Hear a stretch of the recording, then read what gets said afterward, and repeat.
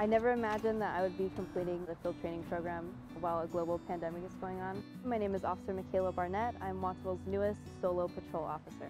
I already knew that FTO was going to be a challenging time, but this whole COVID pandemic has made FTO a lot more challenging. It's brought a lot more challenges that really none of us knew how to face, so we were all just kind of learning as we went.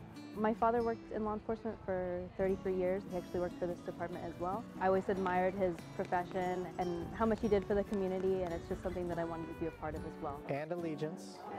I took an oath to serve the community of Watsonville, and to me that means protecting and serving all the residents of Watsonville. Whatever people need in this community, if it's resources, if it's just someone to speak to, we're here, I'm here, whatever they need. My favorite part about this job is getting to meet new members of this community. I've learned so much about this community, even though I've lived here my whole life. I get to see a whole new side of Watsonville, a whole different perspective, and I think that's really awesome. I love this community and I want what's absolutely best for this community.